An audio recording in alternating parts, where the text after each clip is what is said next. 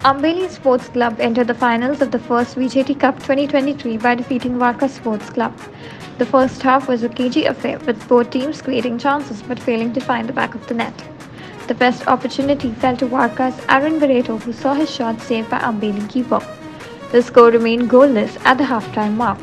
The second half was livelier with both teams pushing for the breakthrough.